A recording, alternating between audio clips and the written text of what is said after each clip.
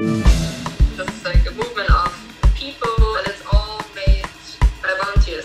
It's huge now. It's grown so much. Over a thousand people are active on the ground.